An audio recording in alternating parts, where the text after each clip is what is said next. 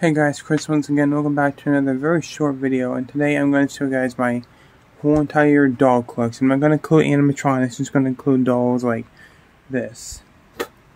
Um, so happy Friday 13th, this is another Friday the 13th special coming from Chris, me, obviously, because, um, my Friday 13th review wasn't that great, so I thought I'd make this video for you guys an, as an apology because that wasn't a good review at all. I hated it. So yeah. So here is Sam first, my Sam doll, which is pretty cool. He's so he's a pretty cute looking doll.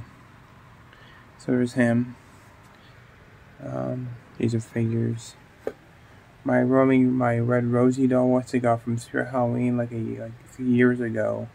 She doesn't work obviously because she's her she's battery damaged, but still she's still pretty cool. Got this doll up here. Pretty. Got her from Walmart years ago. And I got my dolls here. I got my um my scarecrow doll I got from a flea market years ago. She's pretty cool. Her face is really good, really cool details. Next I got my bride doll with the knife and the tongue in her hand. She's pretty cool too. I, mean, I like her detail on her hand, the blood. These are handmade dolls. Got, got them from Flea Market, both for 18 bucks. You just can't beat that, guys. It's a great deal. And I got Glenn, or Glenda, whatever you want to call him. He talks, he laughs and makes noise, but I don't want to, I don't want to push the button because it might be copyright, so there's Glenn. He's pretty cool my Talking Tiffany doll from Spirit Halloween. I'm not gonna turn her on either because it's copyright. My Tea Time Terror doll, which I got from Party City last year. She still works and she's still a pretty cool looking prop, a pretty cool looking piece. I got my Exorcist Regan doll and my It from nine from mini series doll Living Dead dolls. They're pretty cool. Um, they're not too big, but they're still pretty cool. Got my Pennywise Sidestepper. He's pretty cool. I got my sitting in my bed. I got my Megan doll. Uh, you guys seen her in all my videos. You know how to explain her, but she's pretty cool.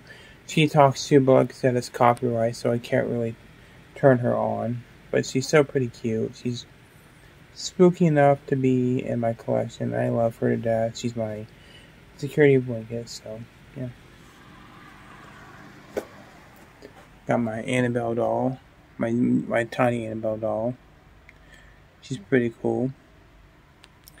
My big Annabelle doll, which my friend got me for my birthday. She's pretty cool. She was only 80 bucks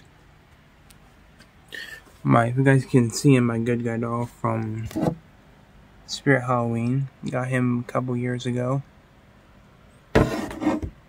My Tiffany and Chucky doll got from Spencer's.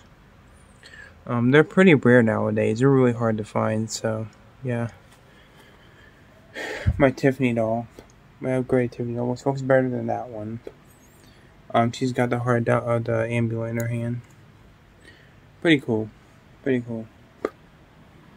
And that is my creepy, well, I mean, I got my creepy doll collection. I got this Megan plushie right here, so, um, yeah.